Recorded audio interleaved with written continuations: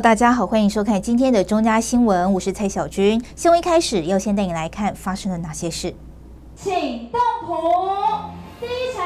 开工顺利，来宾们掌声喝彩。在台北市长蒋湾、立法员李彦秀、市议员王孝伟、李建昌、阙梅沙等人共同指产下，台北市消防局大湖消防分队新建工程终于开工。从民国九十九年开始，历经选址、会刊、地方说明会，到后续规划设计及发包，蒋安特别感谢历届议员不分党派全力支持促成，地方也相当开心，争取多年的目标即将实现。我们大湖分队的旧址是跟大湖派出所共用，那最主要建筑已经非常老旧，而共用之下，其实使用的空间已经有限，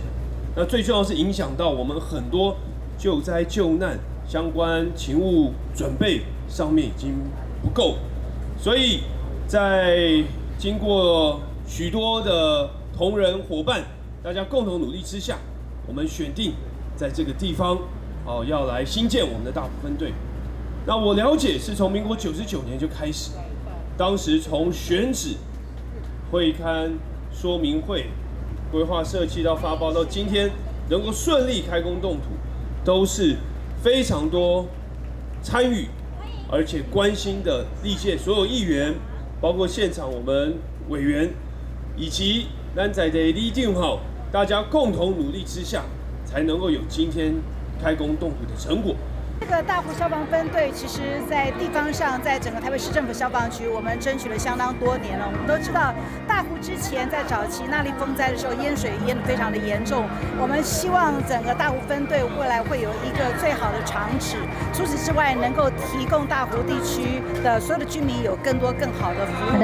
因为这些年大家都很努力，不分党派的议员都希望支持，因为这个建物真的太老旧了。我们一定要先给我们消防弟兄一个很好的一个办公室，他也才能够为我们市民的安全来打拼。所以，我们今天看到这个整个过程，就是地方基层、还有市政府、还有所有民意代表团结努力的结果。我们非常开心。这栋地下一层、地上五层的新建物，规划有消防车库、办公室、执勤室，还有体技人训练场，预计民国一百一十五年十月完工。台北市长蒋万强调，市府团队将持续努力，达成消防服务人口比例一比一千的目标，实现对市民的重要承诺。也期盼大湖消防分队完工后，能进一步提升台北市的城市安全水平。我们也会持续的努力，达到我们消防服务人口的比例一比一千。好，这是我们很重要的目标。郭局长，好，这个压力很大，但是。这是我们会不断的努力，也是对市民朋友的承诺。那最后，我们也要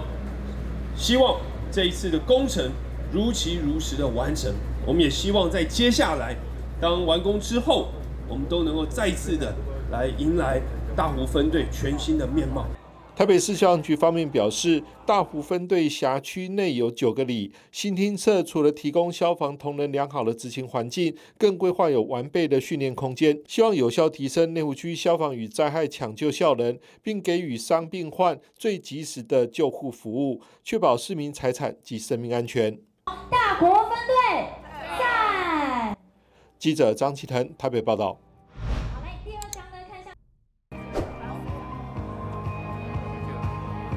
认真的在金铲上签名。台北市长蒋万安在参加大湖消防分队新建工程动土典礼前受访表示，随着时代的变迁以及新课纲的实施，老师面对家长及校方的压力与负担都更加沉重。为了感谢所有老师的辛劳，并确保首善之都台北市能维持高水准的教学品质，今年教师节近师金将恢复发放两千元，发放对象还包括代理老师。今年宣布将进师金哦从原本六百元提高到两千元，最主要就是要感谢所有老师们的辛劳。随着时代的变迁以及新课纲的实施，老师面对家长校方的压力、沉重的负担，台北身为首善之都，我们也一定要确保高水准的教学品质。除了给老师们最好的照顾，以及要确保留住最优秀的师资，以及吸引富有热忱的老师前来台北市。所以这一次我们提高两千元，啊，除了感谢老师，同时我们的对象包含正式以及代理的老师。除了恢复发放两千元近视金，今年近四月，北市府还与八十六个企业合作，只要凭台北市教师证就能有折扣优惠。魏全龙更在九月十七及九月二十七两天各提供一百张门票，邀请老师免费进场看球，还提供主场购票半价优惠。除了近视金，我们也包含包括食、住、行、娱乐等。今年的近师月，我们特别让台北市的老师，只要凭教师证，就可以到包括福华饭店、微风、台北一零一二楼餐厅、动物园、儿童新乐园等八十六个合作的企业。能够享有折惠折扣优惠。另一方面，我们也跟魏全龙队合作哦，在十七号跟二十七号，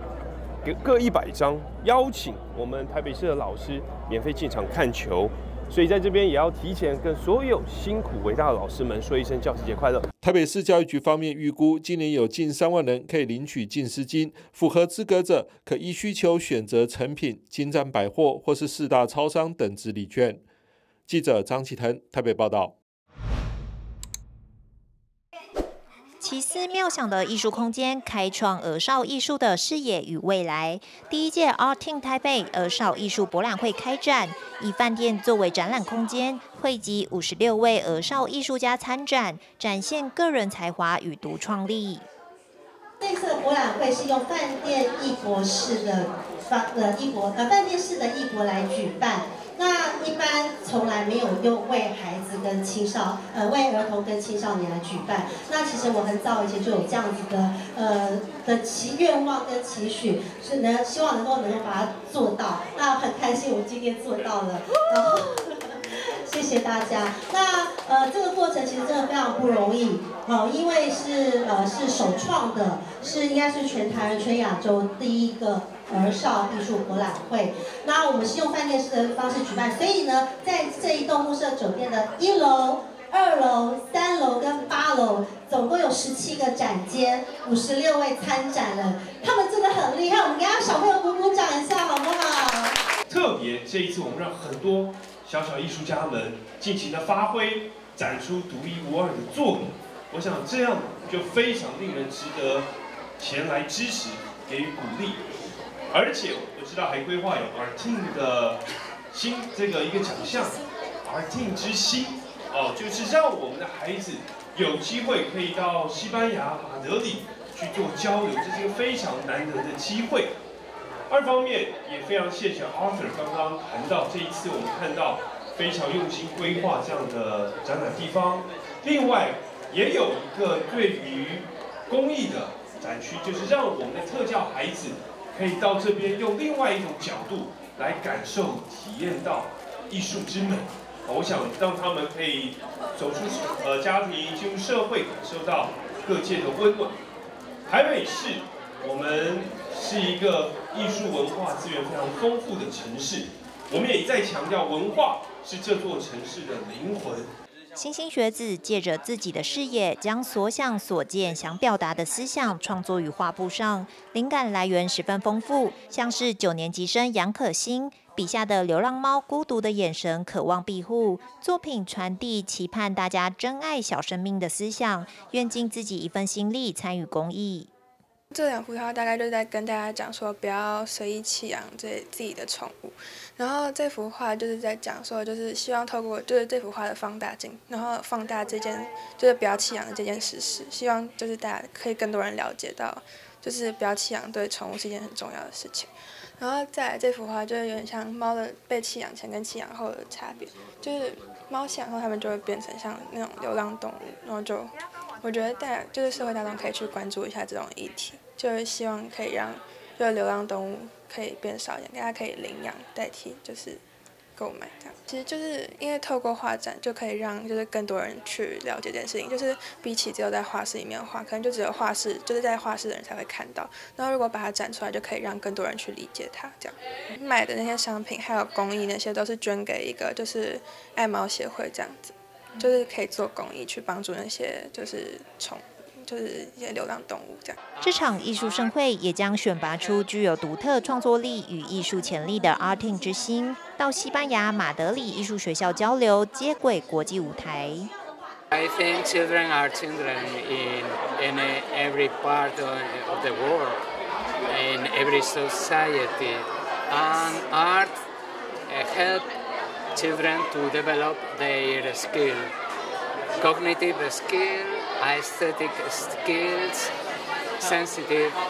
sensibility skills, like a tool for development. 为期三天的博览会，见证孩子们丰富的创作力，作品风格多样，美才多元，用他们的视角带领大家欣赏不同的世界。同时，展览也透过专家对谈讲座，培育美感人才，为下一代带来崭新的舞台与美好。记者翁俊台北报道。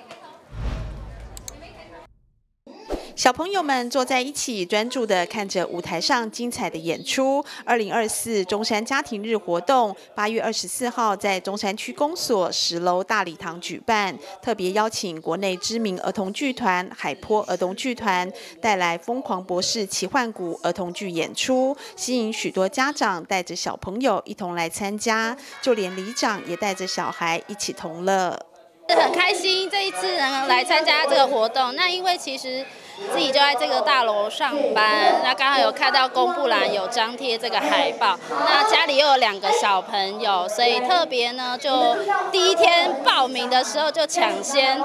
一开十点一开始报名，我们就马上我就上网，马上就抢报名这样，那也很开心有报名上，那也呃今天就来参加这个活动，也希望小朋友玩得很开心，哎，我感觉还蛮棒的，就是。其实让小朋友多方面的体验。那如果小朋友也因为这个体验有喜欢，我们后续也才有后续的，呃，他们有相关活动，我们也还会再去参加这样子。其实我也是在区公所的一楼有看到看到他有那个贴那个活动海报，对，然后我没有留意，其实是我同事跟我讲的。那我觉得哎，真的很贴心办这样的活动，对，因为其实这个是亲子同乐，而且又是剧场，是小孩最喜欢的，对，然后要来，而且很，所以我们很快就上去报名。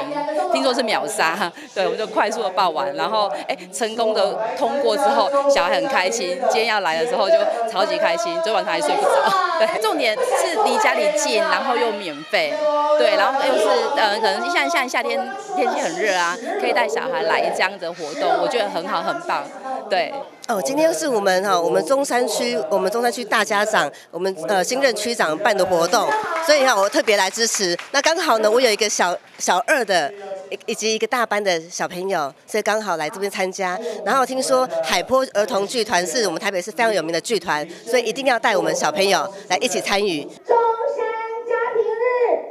活动当天，立委王宏维以及中山区多位里长也到场共襄盛举，感受现场欢乐气氛。中山区公所以基层艺文民俗表演活动，结合人口政策宣导，规划中山家庭日活动，每年都受到亲子热烈欢迎。一百五十位名额在开放报名十分钟就额满，未来区公所也考虑扩大举办。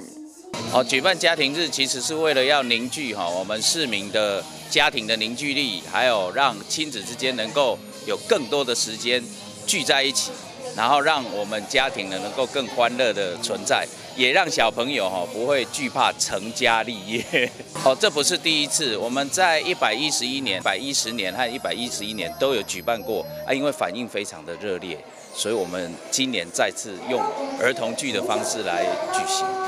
今天播出的这个剧是他们新创作的，所以有结合奇幻冒险和呃叫做环保主题，所以我们觉得能够寓教于乐，再次邀请他们来。哦，民众反应非常的热烈哦，我们大概十分钟就已经额满了，对啊，但是场地的限制啊，所以没有办法提供更扩大。我们是想说。将来看是举办多场次一点，或者是再找大一点的场地，这个都是我们将来规划的方向。呃，中山区民俗委员会是以呃改善社会风气、哦端正呃善良风俗为宗旨。那我们长期在致力于推广哦传统文化还有民俗活动。那我们在一百一十二年四月的时候有推行呃孝心孝行楷模表扬。哦，那就是希望说从小培养孩子们呃孝行美德的观念。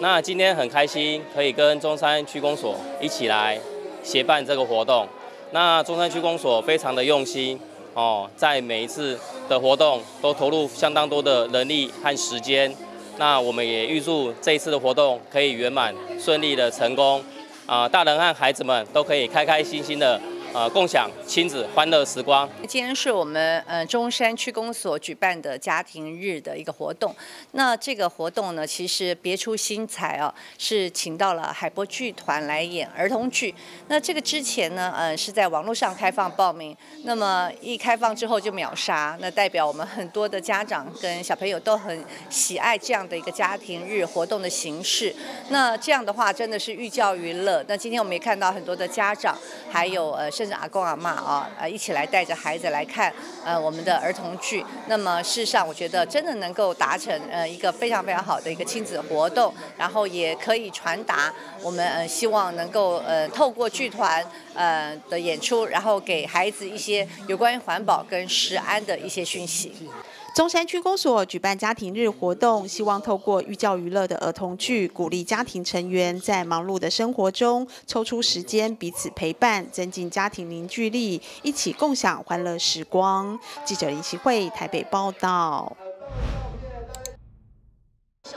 台北市政府第二年和酒与社会责任促进会推动不酒驾我行宣誓活动，国内外酒类业者、共享交通业者、汽机车安全协会代表也响应宣誓杜绝酒驾行为，并且推动五大诉求，包含不酒驾、宾主尽欢不劝酒、控制饮酒不追酒、怀有身孕酒精占据、未满十八滴酒不沾。一上任就即刻成立府级的交通安全友善改善计划。那同样的，我们跨局处大家共同不断的开会，然后去执行各项的政策以及规划的计划。那过去这段期间也都有很具体的成效。那我发现一个问题，就是从过去早期整个城市规划，我们都是以车为本，也就是一开始我们都认为道路要让车通行，能够走得方便，所以。当初的思考，早期都是认为道路要宽，然后呢车道数要足够。那如果车道数不足够，就会压缩人行道的空间，会造成我们人行道，大家都会发现，往往不管是碰到很多的障碍物、变电箱、消防栓、路树等等，所以会造成不管是一般的民众，或者是轮椅族。或者是视障的朋友，甚至是长辈，甚至是推着娃娃车，都非常的不方便。所以，我们透过在前年底、去年初，我们成立的府级行人安全友善小组之后，我们不断的和跨区进行各项的改善。到今天为止，我们不管推动了机车推出人行道二点零计划，我们透过机车弯的方式，让机车不要再骑上人行道上。等等这些措施，好，逐步的让台北市一步一步全区啊都改善完成。同样的，我在今年年初也要求交通局及公务局，我们将原本规划的交通友善的工程改善原本为期五年，我说要缩短三年，一定要全部完成。所以也谢谢我们同仁，大家非常的努力。就以社会主任促进会呢，在两千年开始成立的时候，我们到如今已经花了超过新台币一亿啊的的预算来去做推广跟教育民众啊酒后不开车跟理性饮酒这一块。那我们也自己做非常非常好的典范，在这一块，像我们的会员们、他们的员工们也好，我们都是会叫他们做代驾或者是。骑呃那个公共交通工具哦，或者是德德士也好，五六八八也好，或者是甚至是可以哦去找代驾骑 VMO 哦，或者是 UBI，UBI 我其实蛮喜欢的，非常非常喜欢哦。那呃我们是比较严格的。那在在十年来，我记得我八年前来台湾的时候，那那一次呃我看到了非常多的。就是公共安全的数字，那是还蛮蛮吓人的。可是到这这如今呢，我觉得，因为我们一起共同努力的情况之下呢，已经其实我我看到的数字啊，至少已经跌了差不多四十趴哈，在这十年里面，这是我觉得呃企业跟呃政府单位呃密切合作呃非常非常重要的非常非常好的结果哦。那在数位转型这一块，因为数位转型的关系，我们也把在推广这一块变成数位化。哦，那我们在二零一七年的时候，我们也成立了呃不久叫我行的网络呃网络上的一个宣誓活动。哦，同那当然呃只有呃因为疫情的关系，我们已经呃好几年没有做这么大型的活动。那从去年开始，很感谢台北市政府哦跟我们一起联办呃这件事情。来去呼吁更多的民众在呃公共安全，呃尤其是酒驾这一块，付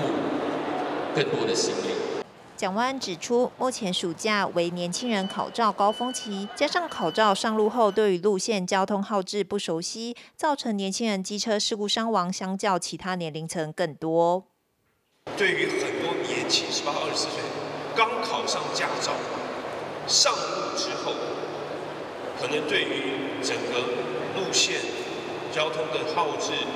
哦状况并不熟悉，再加上很多年轻朋友考刚考到驾照很兴奋，哦，可能骑的速度比较快，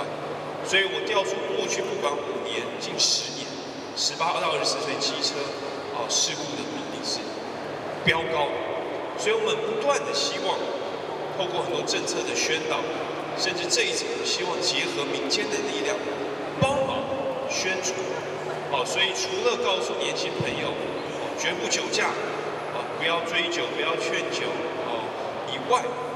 我们这一次也跟大家分享，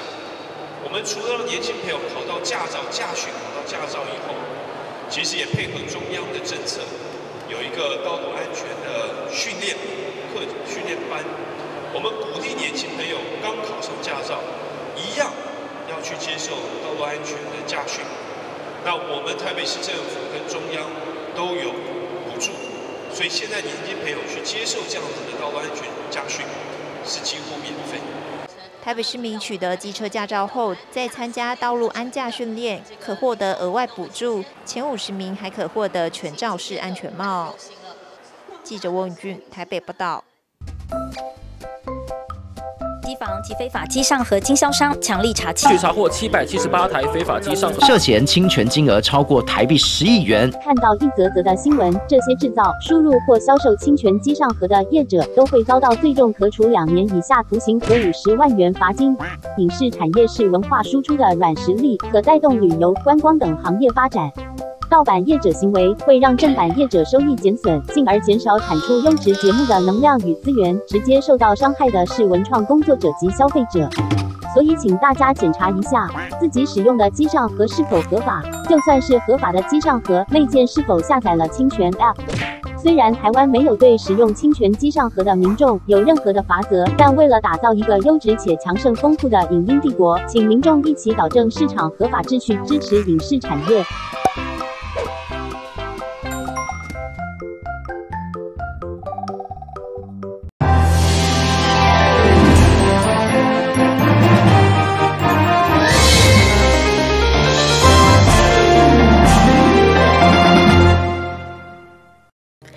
每年约有上万件大型车事故，居各类车种肇事率之冠，事故死亡率更高达百分之三。其中，因大型车的盲点侦测能力不足，以及机车骑士与用路人对大型车视线死角、内轮差的认知较低等原因，使得大型车事故率、死亡率居高不下。因此，科技公司捐赠台湾首创大型车先进驾驶辅助及管理系统，给台湾守护者联盟社会公益协会。共同守护用路人的安全。会其实它是一个全台首创一个大型车一个呃辅助以及管理系统哦，是一个驾驶的辅助及管理系统。其实这个是我我可能甚至相信也是全球首创，因为呃我们的传感器我们的方案其实用在非常非常多的应用，只是结合在这个社会公益的这个活动，的确是我第一次看到。那我也认为是非常非常重大的意义。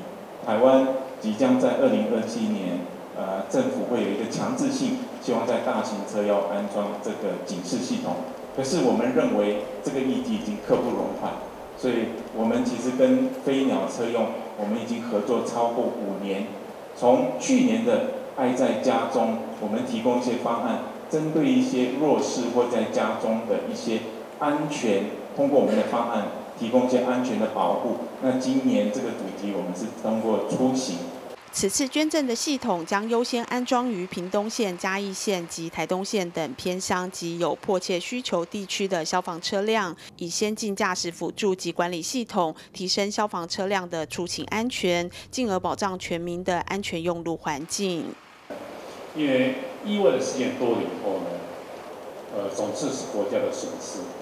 不管是撞到别人或是被撞，都是一个损失。那我们很努力在想说，有什么方法让这个损失能够降低？怎么从消防的捐赠示范以后、成功以后，能够往外外推？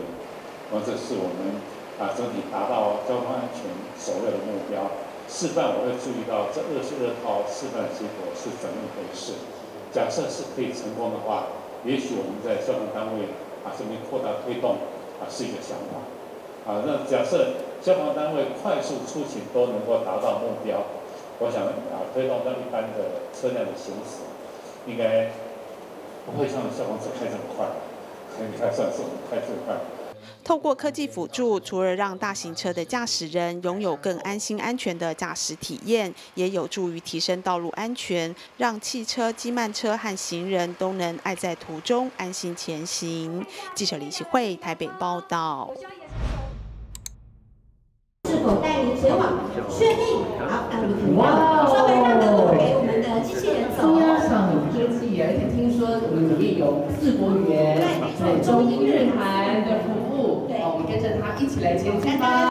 游客提出要去的园区位置，由松鸭伞化身的机器人马上引导前往。这是松山文创园区最新建制的五 G 移动式多功能服务机器人，去年创下入园人数超过八百万人次的纪录后，松山文创园区已经成为台北市最热门的景点之一。在大巨蛋开幕后，预估造访人数更渴望突破千万，因此如何提供国内外游客更完善的服务，成为园区面临的重大考验。引进五 G 加 AI 的科技应用服务，就是松山文创园区升级进化的关键。因为整个松烟的幅地真的蛮大，六点六公顷，室内大概有三公顷，室外也有三公顷多，所以在这样一个情况底下呢，我们觉得说，呃，民众有时候走不到一些点，那他需要一些帮助，所以我们也是利用像科技服务，像呃。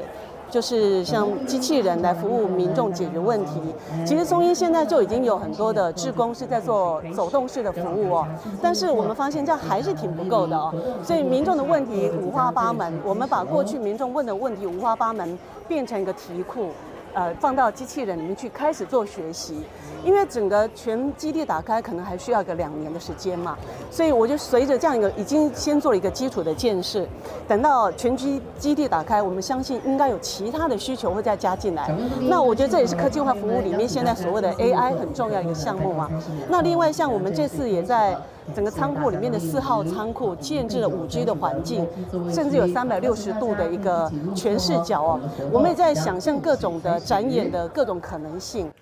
主导这项古迹创新应用科技服务计划，负责建构五 G 专网环境的台湾大哥大方面也认为，占地面积广大又有室内室外空间的松山文创园区，很适合引进五 G 科技，让游客可以轻松漫步园区，体验更便利的科技服务。因为五 G 的特性就是 anytime anywhere，所以呢，它的魅力必须在一个比较大的。一个场域里面做展示，那它也非常适合这种室内室外非常复杂的环境。如果你用呃固网的技术加 WiFi，其实都有它的呃这个穿透力还有涵盖度的问题。但是用五 G，原则上就跟大家用手机一样，它的整个穿透率、涵盖度是可以大幅提升的。国发会副主委詹方冠表示，五 G 加上 AI 是数位科技发展的关键。政府在前瞻计划编列四百九十亿元经费，就是希望鼓励厂商投入研发，让大家知道台湾不只有晶片，还能提供很好的数位服务。五 G 还有一个特色，就是因为它是一个开放架构，所以台湾的过去很好的这些 ICT 厂商哦，不用再去做电脑这些东西，因为他们有机会打入我们整个电信网络市场。可是我们必须要有能力证明我们有这样子的一个实力哦，所以国发会在这样子的情况下，就是呃鼓励我们的国产厂商能够制造五 G 的设备，能够推出五 G 的应用，当然希望也能够把这个呃业务推展到全世界。台北市副市长林奕华也感谢国发会的支持，促使五 G 国家队与松山文创园区合作，让这个台北市区重要的古迹也可以很时尚，并且充满无限可能。那我们从原来五个出入口变十二个出入口，变每天五万人进到松烟来，所以大家知道那个服务量呢，都必须要靠科技来共同来协助，或甚至为了让它服务更好，所以看到有战情中心，好让我们可以知道。怎么样能够提供更完完善的一个服务？那再来呢，也透过五 G，我们可以在能源的管理，反正各方面了，基本上来讲都可以让它整个的大升级。Would you please show me the way for a toilet？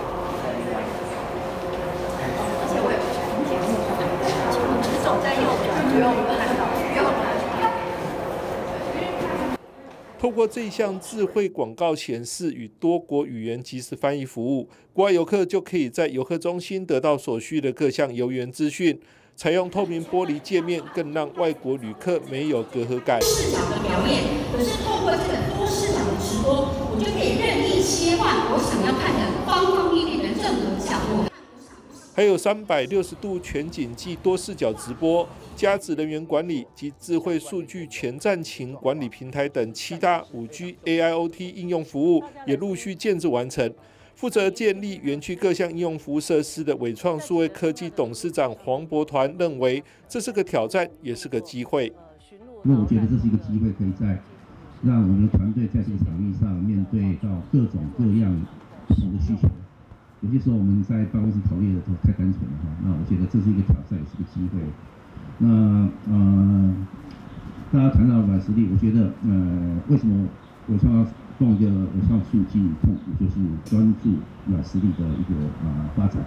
在持续进行压力测试与设施改善下，全新升级的松山文创园区将分阶段启用各项五 G 人工智慧物联网应用服务。欢迎国内外游客一起来园区感受古迹观光新模式。五 G 专网导入古迹智慧园区计划专案成果正式发表，正式启动。记者张启腾台北报道。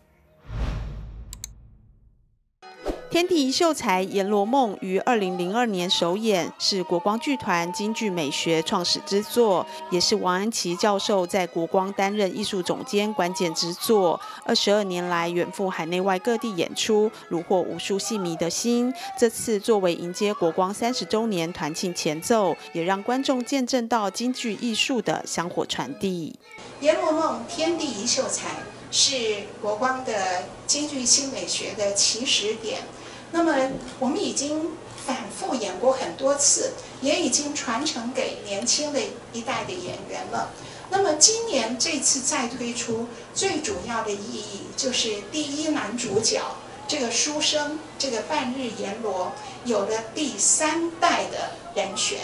我们第一代是原创的，是谭国华老师。前几年圣剑加入，哦，又展现了一个崭新的气象。而今年周慈爱变成第三代的男主角，这是不是就印证了我们说的国光的新编戏能够磨成传统戏，而且我们的卡司不限一组？那么因为周慈爱当做了当呃担任了第三代的男主角，所以所有周边的角色都有一个大调动，等于是全员的大更换。那么这样的。一个展现，我想是今年再推《阎罗梦》最主要的意义。同样意义深远的，还有三个人儿两盏灯，由王安琪、赵雪君共同编剧，以极为唯美且细致的方式，挖掘女性甚至人性情欲的想象。二零零五年推出的时候，他得到了台新艺术奖，当前最重要的一个艺术奖，得到台新艺术奖的评审团大奖。那年台新的那个那个第一名是《如梦之梦》，那我们得到的是评审团的大奖，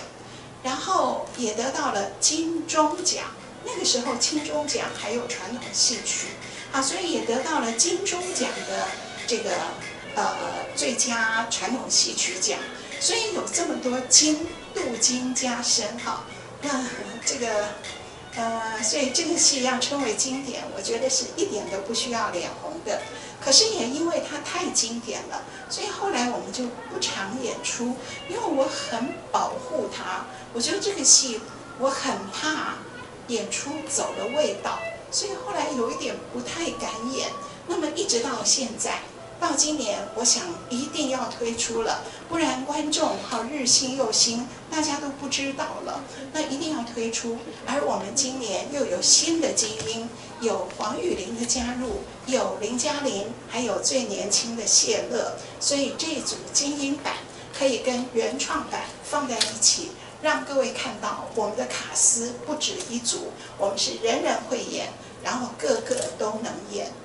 天地秀才阎罗梦将于九月二十七到二十九号在台湾戏曲中心大表演厅演出，十二月六号到八号将演出唯美新编剧作《三个人儿两盏灯》，喜爱国光剧团的观众可千万不要错过。记者李希慧台北报道。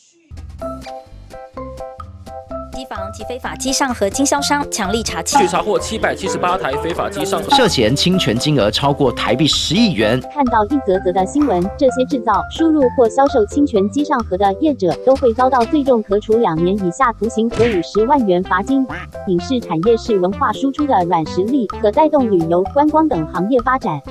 盗版业者行为会让正版业者收益减损，进而减少产出优质节目的能量与资源。直接受到伤害的是文创工作者及消费者。所以，请大家检查一下自己使用的机上盒是否合法。就算是合法的机上盒，内件是否下载了侵权 App？虽然台湾没有对使用侵权机上盒的民众有任何的罚则，但为了打造一个优质且强盛丰富的影音帝国，请民众一起保证市场合法秩序，支持影视产业。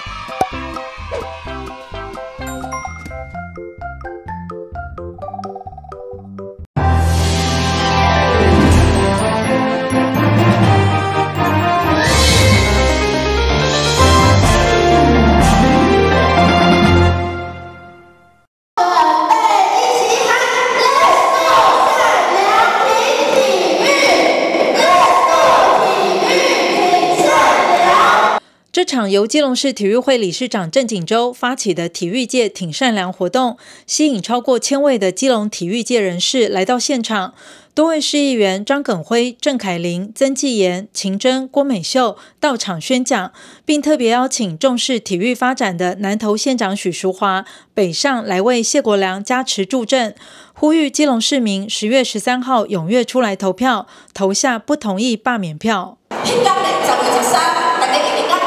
我们反对罢免谢国良，支持谢国良继续为我们基隆市民服务，好不好？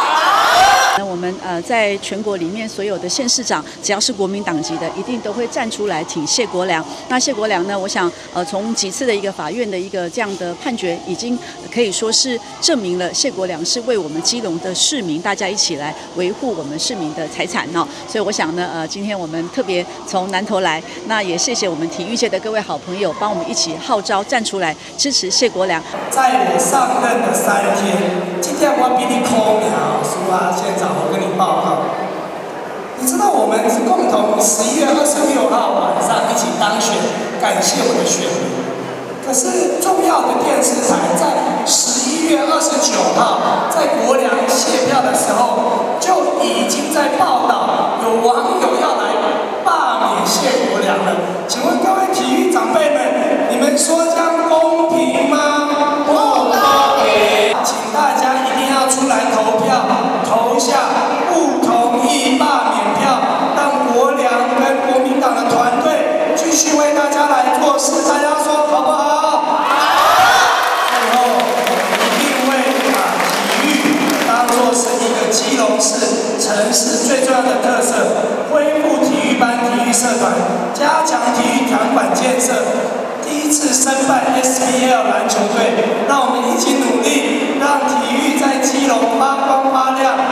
一个平静，其实我到现在七十岁，从小到现在就没有看这样这种乱象啊！我们大家都来挺我们，诶，市长谢国良啊，反罢免。因为说实在，我很少跳出来，可是真的看社会上这样子乱象不好，我们还是要把这事情赶快过啊，让我们社会上平静安静。体育会理事长郑锦洲强调，市长谢国良上任后相当重视体育人才训练，并透过赛事活动带动基隆经济发展。感谢市长的大力支持，全国健走活动九月七号将在基隆举办，带动基隆的餐饮住宿商机。我目前有一百八十几台的游览车了，基隆的饭店、餐厅、旅社都满了，所有的餐点或什么消费啊。它的核销都要在基隆的商家才可以，你不说你台北市来、新北市来，你便当也要在基隆叫，这对基隆的餐厅、饭店，我们已经包了几家饭店都不够了。非常欢迎大家到现场为我们谢市长加油，谢谢大家，谢谢。在活动现场，民众热情的和市长谢国良跟南投县长许淑华一起拍照留念，为市长加油打气，展现团结气势。支持群众也互相提醒，十月十三号要出门投下不同意罢免票。记者黄日升、陈淑平、丁克宇、基隆报道。我跟大家示范，先捞面，然后再捞上面。对，自己拌，自己拌，自己拌。你要吃多少就可以吃。对对？来，我来来来，对对对。基隆女儿台中市长卢秀燕如数家珍的说明小吃的正确吃法。为什么她会这么怀念中山区的汕头牛肉面？因为她小时候就在这个地区长大，就读仙洞国小，所以这是她童年的记忆，最怀念的故乡美味。哎，谢谢你。就是这个，就是我要吃的牛肉面。他们的面不一样，是特制的，也不是乌龙面，它就特制的。从小从小的面就长这样。看这边哦，看这种开张哦。先先先等一下哦。他们家哈，每一样都超好吃。如果如果可以的话，我待会还要打包，可以吗？好想念呢。啊。儿时的记忆都回来。我宝宝一份。我跟你讲哈，面要一份呐哈，然后这个要一份呐哈。然后那个汤要一个，汤汤你怎么带？是用碗装，用碗装嘛哈。就这这三个，哎。然后那个炒，然后炒三鲜要一个。OK，好，啊，可以吗？可以，可以。太侠 可以吗？当然可以。是弟弟跟他讲的，这个这个最好吃。对呀，吃牛的人这个人气的这个最好吃。对，我们其实今天是陪啊。基隆的女儿卢市长，然后回来她的娘家基隆哈，主要除了是挺我们谢国良市长以外哦，还有他带我们来吃基隆的美食。其实基隆就是可以这么快乐嘛啊，吃喝玩乐观光啊，我就不知道说为什么不可以安居乐业，然后好好让谢市长，然后做好这四年这八年哦。所以我希望说，不管是基隆市民也好，或罢良团体也好，你们可以再思考一下，就是基隆人需要的真的是。不断的政治操作吗？还是像这样子，就是呵呵啊贵心哇，然后好好的赚钱？对。这次除了台中市长卢秀燕，还有南投县长许淑华、连江县长王忠明、台北市议员游淑慧、跟立委林佩祥、基隆市议员郭美秀、宋伟丽、何淑平、蔡旺莲、连恩典，都共同合体力挺谢国良。啊，因为我看到国良这段时间，大家给主地受到委屈。因为国了做市长，伊要守护家人，守护家人人的财产，也因此伊看小时阵有发觉到讲，家人的财产既然无登记在家人市政府内底，吼，啊也因此伊呃基呃积极的要求讲，一定爱该收倒来登记在大中市呃家人市政府，吼，安尼可能有的人无欢喜，去踏着有人的地盘。所以有的人就是要甲修理，吼。其实我今日要甲国良讲，我专工倒来，我甲国良讲，对的代志爱坚持，这是家人人的公产，这是家人人的资产，当然爱登记互市政府，吼，安尼才是道理。所以国良国良的做代志是健康的代志，但一定爱改支持。我们基隆市目前民众反对罢免、不同意罢免的，绝对是占多数。但在这个人口里面，我打一个比率，大概只有五成左右，目前是了解到，一定要出来投下不同意罢免票。大概还有三成的民众其实是不了解。也不知道要出来投这一票，另外有两成民众很可能他知道他反对罢免，但是他还没有动力出来投这一票，所以在未来的这段期间，包括今天姐姐回到基隆来，就是要跟我们基隆的民众喊话：如果不出来投票，那么国良也很可能就会被罢免成功，因为现在的选举罢免制度过到百分之二十五。我认为对方是有这样子的一个票数的，但是重点是我们有着更多的民众，但是却需要一定要站出来投下不同意罢免票，所以未来几周我们仍然会如履薄冰，非常的啊一步一脚印，要来跟更多的市民朋友来宣传，一定要出来投票，投下不同意罢免的这一票，谢谢。来力挺谢国良的三位县市长跟市民呼吁：一个市长做得好不好，应该用四年来考验，而不是做了一年多就来评断他的施政表现。所以呼吁基隆选民支持谢国良市长，一定要在十月十三号踊跃出来投票，投下不同意罢免票。记者黄日升、陈淑平、丁克宇，基隆报道。台北市副市长李四川一开始特别以他过去在高雄的经验做分享，如果没有积极的反罢免，就一定会后悔。我要拜托所有的基隆的乡亲出来投不同意的票，不然的话，往后会跟我以前的一样，有很多市民到现在才在后悔。这个世上没有后悔的这一个药，所以在这里跟。所有乡亲去分享。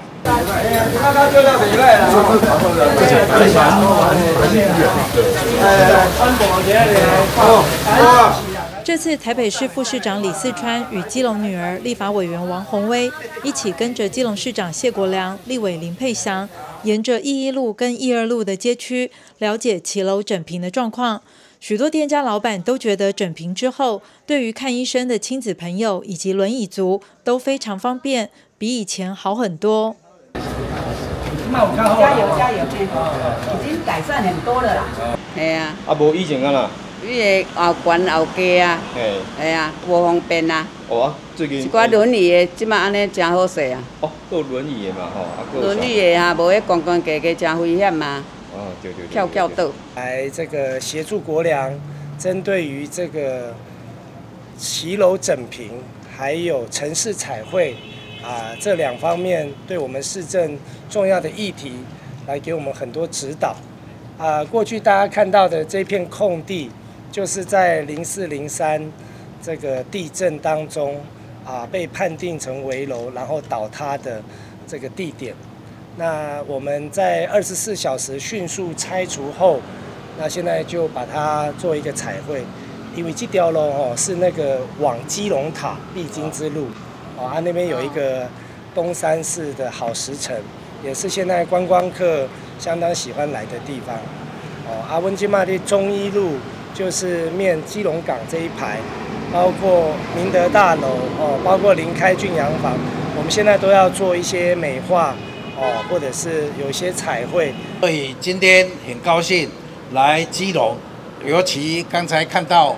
这个零四零三发生地震，拆除完了以后做这么漂亮的彩绘，也是一种拉皮。那原则上骑楼整平，包括路平，说实在都是人民最需要的。所以我一直认为国良市长说实在在工程上面。都是一个相当认真的一个市长。那我觉得国良市长真的过去他都是埋头苦干的，在建设基隆，在这个做市政。那么也趁这个这次的机会，让大家知道国良市长是多么的认真，多么的努力，想要改变基隆。所以我们也希望让所有基隆的乡亲跟基隆的市民知道，除了基隆会变得更美之外，看到很多彩绘，很多的美化。那么更重要的是，在我们的硬件设的部分，国良市长是绝对，他是有他的魄力跟他的这个决心。那国良一上任就讲一句话说：如果好做，不会轮到我来做。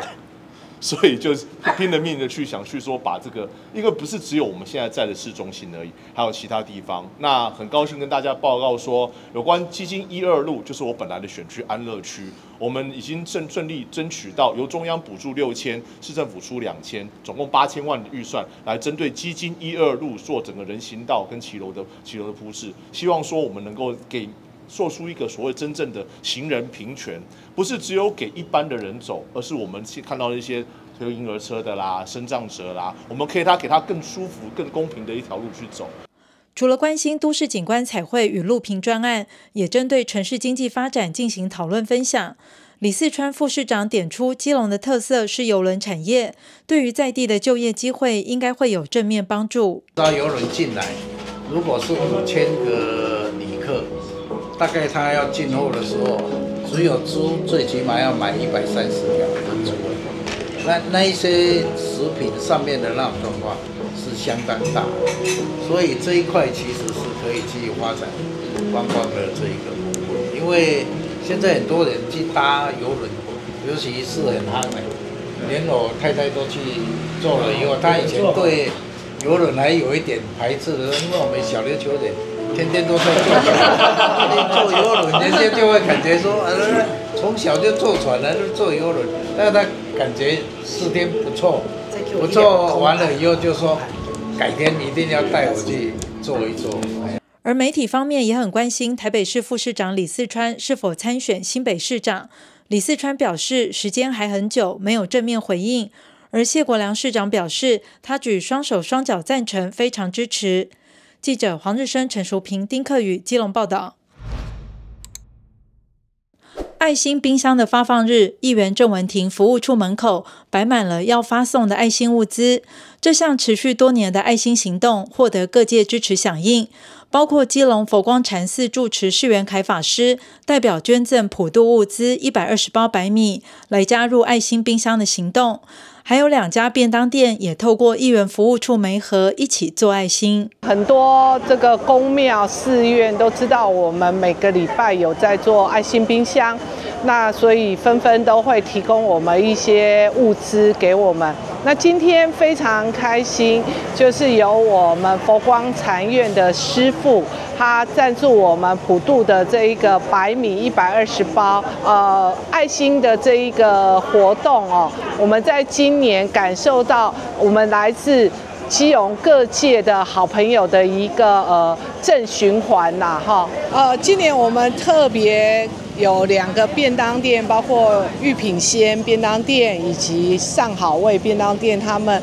每个月。有一天会固定的来提供爱心便当，那由我们来担任一个中间的媒介。为什么？因为这些爱心的支持者，他们特别跟我强调，我们的便当我不要这样子，民众来你的服务处领了就走，他希望。更具体的把这份爱心送到需要的人的手上，所以我们呃在接到这一项任务的时候，就先找慈善团体来媒合，所以每一次我们必须派人到这个便当店领了便当。再把这些便当分送到各个慈善团体去。那总之，这样的一个善的循环，需要大家一起来护持。我们也欢迎大家跟我们联系，有想要做爱心的人都可以一起来做爱心。市议员郑文婷说，推动爱心冰箱以来，获得许多单位与善心人士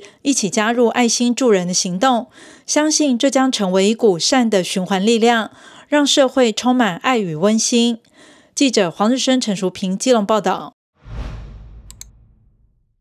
安乐区基金一路路段已经有自来水公司一区处人员开始挖掘探勘路面下的情况，准备汰换已经有四十多年历史的老旧自来水管。更换新的口径更大的自来水管线，来满足对安乐区大五轮地区现有三万人口的供水需求。因为基金一二路这段路面下的老旧自来水管经常爆管，影响正常供水。立委林佩祥特地向中央争取四千万元的经费，并且邀集市议员郑凯琳。自来水公司一区处人员和市政府公务处以及安乐区长、当地里长等人听取施工简报，预定从八月底开始汰换这个区域双向四百公尺长的老旧自来水管，预估明年中旬会全部完工，让这个区域大约两千多户住户的自来水供水会更稳定。安乐区大五轮。大五轮地带哈，其实当初在都市规划设计的时候，绝对没有想到有一天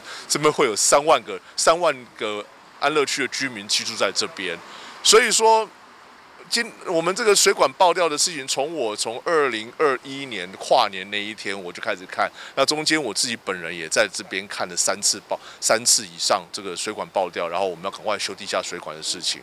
那既然说现在已经到三万人，那我们每天。他们每天的生活用水都是用本来四十几年前可能那时候都市计划不到九千人的水管去打上去硬压上去的话，这水管破旧了，而且水压也未免太大。所以这次佩祥特地蛮蛮 蛮幸运的，可以保留预算，争取到将近两段工程，将近四千万或四千万以上来去做这个我们安乐我们安乐区大五轮基金一路的地下水管的整个换这个这个整个汰换的工程。那因为这个太换工程，尤其是我们看到基金一路车流量其实是非常的大的，所以我们在这边我也要特地，我特地欠请我的前我的前同事，我的好朋友郑卡林、郑义做一起。中央地方一起联手，务必要说在在在明年中旬的时候，能够顺利的把这整个一基金一路、七金一路的我们最常看到漏水的这些水管，一次把它汰换完，让我们安乐区大五轮三万的三万以上的的居民能够顺利的好好的用水，不会想说怕说有天忽然停水，然后或者水管爆掉之苦。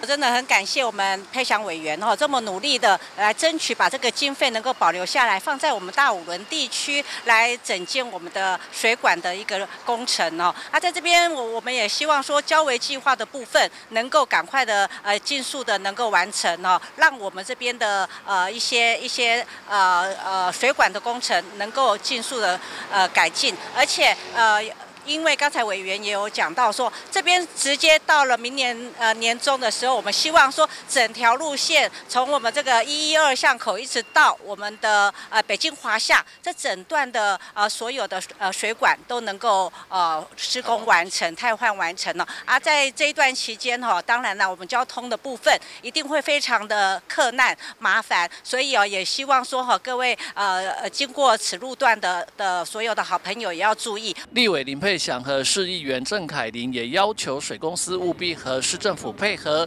一起做好施工期间的交通维护管理措施，避开上下班尖峰时间进行施工，把对交通的影响降到最低，也尽力依照其程完成新的自来水管的铺设工作。记者吴俊松机动报道。以上就今天的中嘉新闻，非常感谢您的收看，我是蔡小军，祝您一切平安，我们再会。